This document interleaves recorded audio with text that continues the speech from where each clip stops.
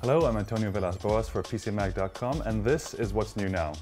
Microsoft revealed yesterday its HoloLens technology as part of its Windows 10 announcement.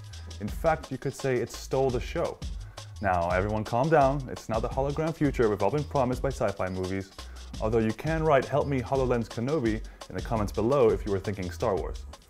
It's similar to Google Glass as it also projects an augmented reality through a head-mounted display.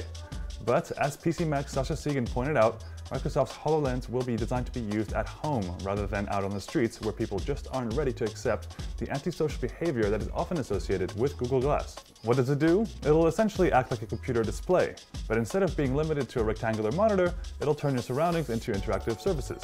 For example, your web browser's icon could appear like it's hanging on your wall like a painting, and you'll be able to use hand gestures or commands to open it and start browsing. That's just the tip of the iceberg for HoloLens' capabilities. To find out what else it'll be able to do, check out our hands-on experience on PCMag.com. I'm Antonio Villas-Boas, and that's what's new now.